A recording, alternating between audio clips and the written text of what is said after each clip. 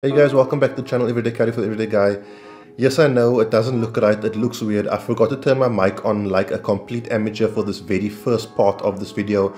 Don't worry, it's only this section. Stay tuned, this is going to be my very first camping style video. I'm taking EDC on the road. Um, I hope you guys enjoy it. I try to get as much scenery and as much fun stuff in as possible and talk about gear as often as I can. If you've got nothing to do and you're a guy or a girl who enjoys the outdoors, you're probably going to enjoy this video. So give it a watch, maybe give it a like and let me know in the comments what you think and if you want me to do more or if you want me to do more uh, things around Cape Town. Enjoy it guys.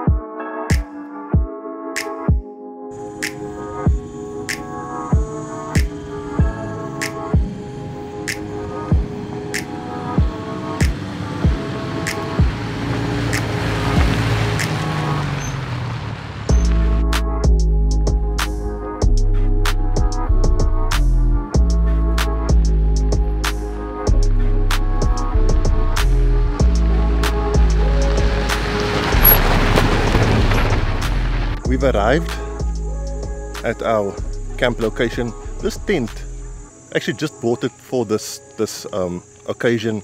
Um, gonna be doing some some camping with a buddy Andre and another Michelle camping. We're gonna be heading down to the rock pools. I'm gonna take you guys with me. It's gonna be freaking awesome. Um, if you are looking to get away, this place is called Beaverlac. It's about an hour and a half outside of Cape Town. I would just recommend if you are going to come out here, you're going to need some kind of off-road utility vehicle because um, it's it's quite a tricky pass. I think you're going to need like 4x4. I don't know, maybe you don't, but don't don't want to come here in your your dropped Golf GTI. Okay guys, so we're at a rock. Awesome here, but something I want to ask my swimming aficionados how do you guys float on your back like like the two Michelles are doing? I'll see if I can get it in. guys can't do it. Uh, let me flip the screen. Can you see there and there? Guys can't float on their back the way uh, Michelle A, Michelle A and Michelle B are doing. If any of you know how to, to float on your back like like that or like Mandazod or like that please let me know. I've absolutely no idea and it seems like men are not able to do it. Hey guys so after the swim um, we're having a braai that is South African for uh, barbecue right? Foreign language barbecue. Andre bought me this and the question really is does it still count as a braai if you use this to make it? So no blitz or anything required. Ooh, hot. Tuck that in there.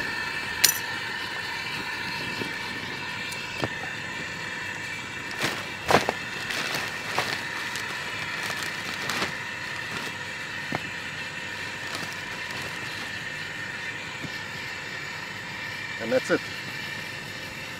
Five minute fire.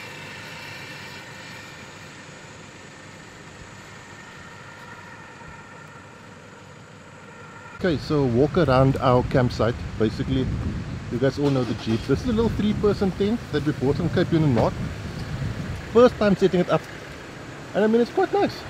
Very, very easy to set up, like the idiot could set this up. I think one person could set this tent up.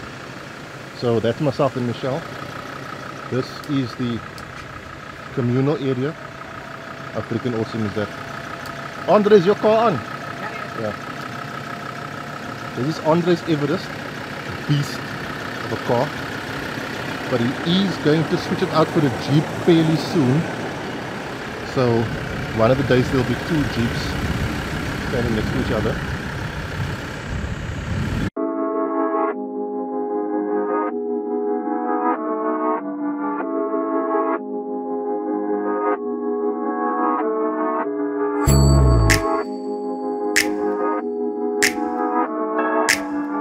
So guys, I'm gonna end off the night using um, I'm using the the um, lantern from Torch SA as my as my full light here.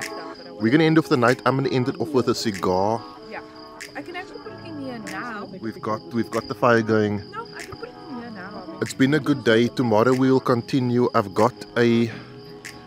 This is so difficult. A Rajarera cigar that we're gonna end it off. And Andre, what are we drinking? Van Ryn's 10 year old. A Van Ryn's 10 year old. So it's gonna be uh, a good night. This is the last you're gonna hear me talking. I'll leave the camera rolling to to show off the ambience, and um, we'll pick everything up tomorrow again. Have a good night, guys. I'll see you soon. Cheers.